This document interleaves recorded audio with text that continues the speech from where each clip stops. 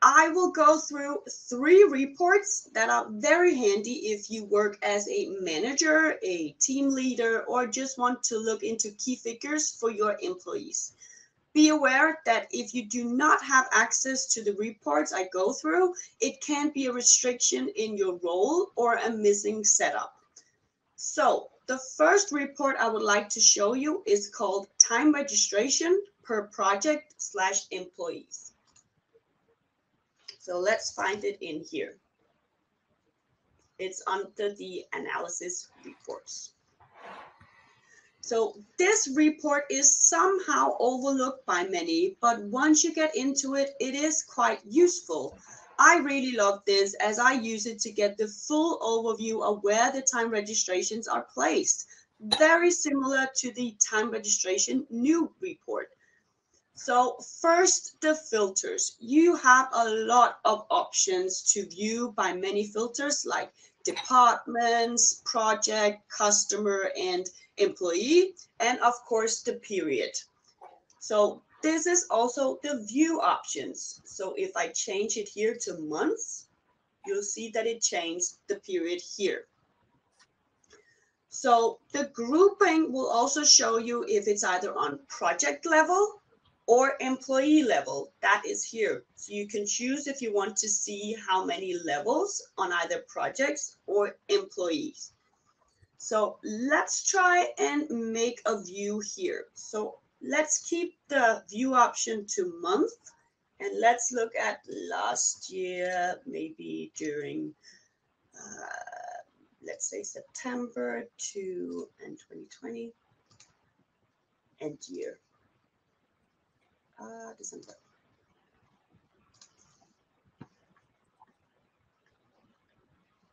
So the great thing about this report is that you get a clear overview of where your employees spend their time. You can then analyze and discuss if the workload or plan should change if you see behaviors not matching the employee's yearly plan or they're struggling to meet their targets a thing I also love about this report is that the view option makes it possible to see months or weeks from early on so you can compare them. For an example, if one month the employee was registering a lot on a customer projects and invoiced a lot of hours, but the next month they didn't, then you can make a deep dive and look into where the hours are then registered and discuss further with the employee how you can change the behavior or help out. So when we look into it, I can actually fold it out here. I'll see the project on task level because that was what we chose. And I can see, okay, how many registration were placed on each month. If I want to see it on employee, I'll just change the group in here. Click search. And then I'll see which employee has registered how many hours in the total.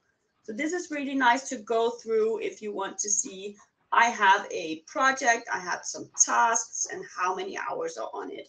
You can also um, change the grouping. So if you want to see per employee and see, okay, how many registrations on which projects has each employee made.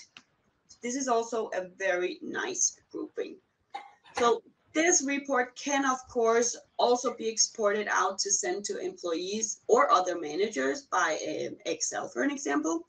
But that actually brings me to the next report that I believe is just brilliant. It is called Time Registration Accuracy.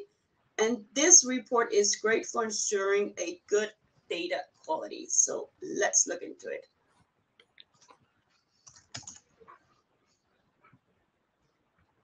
Under the salary and staff reports. So here's the report. Don't get intimidated by the few view options. This is a report to keep track of your employees' time registration behaviors, how often they track time, and when the last registration was made, which is important to secure your data quality and be sure you are not missing out on customer or project hours. So let me show you some example. Be aware this is a test site and I do not have a lot of data. It will look differently on your side, but let's see.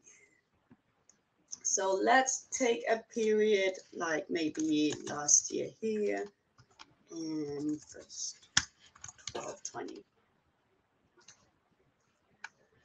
So the quick overview here will show you the employee, the last time they did a time registration, the accuracy of those registrations in that period. You can compare the numbers with the period before, how many registrations in total were registered, and the hours in totals, the columns here. So let's take a deep dive into the numbers. On all the employees, we can see when the last time registration was made. Most often, this report is good on a weekly basis, as you then can analyze on when and how often an employee registered time. If I see on an employee that it has been two or three days since the last time registration, and it might be a continuous habit, this can in the end cost you a lot of money so when a consultant forget to register time and have to remember what work they did two or three days after, it is most likely that they will forget or miss out on billable hours that we as a company can invoice our customers. So as TimeLog is a time registration system, we want you to be able to follow up on how often and when employees register their time because in the end, it is money. So the accuracy column will show you how accurate the employee is in registering their time. For an example, on employee FN, we see the accuracy at 5.83, which means that the registration made for this period is over five days after the work actually was done. That means the employee perhaps uses Monday morning to track last week's work and here a lot of money can be lost, but also registrations. The TimeLog system wants and encourages to be accurate in the work and registrations you do. So when employees register several days after the work is really made, there could be potential loss. This also leads to the next column, where you will see if the period before was better or worse for the employee was there something in that or this period that was different maybe the workload. So it is a great thing to have the comparison to lean against for the adjustments or talk with the employees. The column total registrations is really fun to look into because this will actually show you how many registrations were made. So let's see on employee sv for one month period, this uh, employee has registered time 23 times. Of course, since this is a demo site, it is still quite low for 20 days registrations. But if we look into the employee CC, we see that the employee only registered five times in one month. So this also gives you the overview of how many times an employee actually registered time during a period. I can tell you that we within TimeLog have employees in both ends of the scale. We see some where you can discuss if they register maybe too few times, but we also have others who register too much. So it might be disturbing. Here you only know yourself what is to be expected and is normal within your company. But it can be quite interesting to look into those numbers.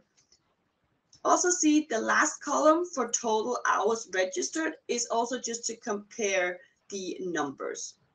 I hope you will love this just as much as I do. And I'll suggest that you look into this as you will most likely get some aha moments and perhaps use it actively with maybe an internal competition. So the last report I want to show you is the employee key figures. So let's find it here.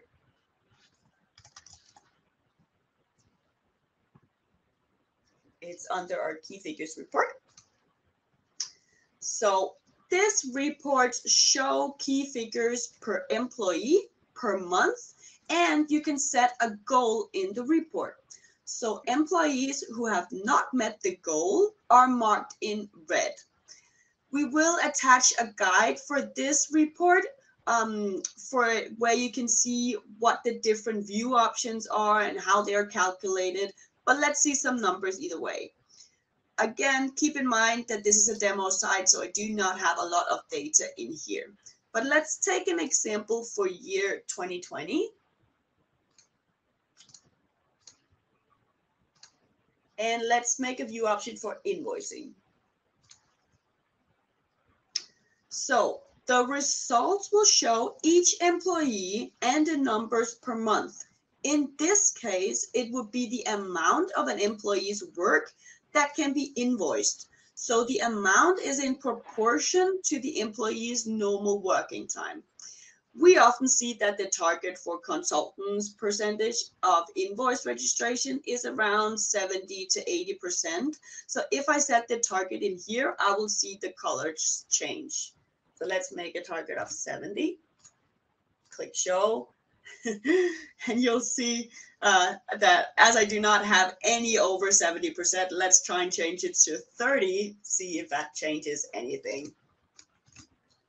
To see everything is red now, let's see if there's someone above 30. We have one. Still, this is a demo site, so that is why. But you will then see, okay, all the negatives on those that doesn't meet the target will become in red. Let's just delete it for now. So this is a great report for you to look up and it indicates where your consultants are in the month of the, for an example, potential invoice registrations. As the view options are many in this, let's try one more view, maybe do the registered in percentage. So this is how much of the employee's normal working time that has been registered during the time period. So these are actually the actual hours divided by the normal working hours and minus the vacation. You will see more about that in the guide we will send you about how the calculations are made. So when you see employees with low percentage, it indicates that they have not registered their normal working hours, or perhaps they are way above 100, so they have worked overtime. So you can see here the different numbers, okay? For September here, this one is over 100, so they have worked overtime, but the other months, not that much. It's a demo, that is why. So this is also a fantastic report that gives you the key figures and a quick overview of a targets set by you. So these were actually the three reports I wanted to tell you a little about. I know that there are a lot of reports and other reports that you also use on a regular basis as a leader or manager. And you most likely also look into our time registration new report, the internal external, or some absence reports. But sometimes it's just nice to try something else with a different view. And I hope you will try them out.